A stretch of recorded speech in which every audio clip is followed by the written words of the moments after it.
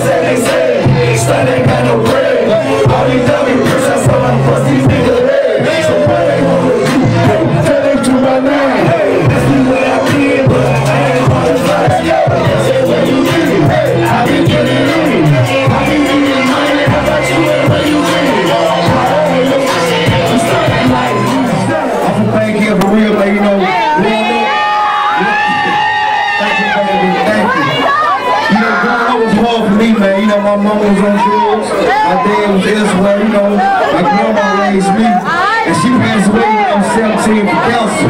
So, you know, I went through so much, man, coming up. You know, I got 28 arrests. I've been convicted four times. But guess what, though?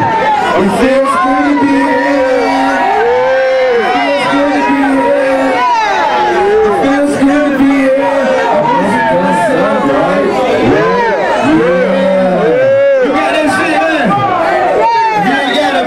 sound good.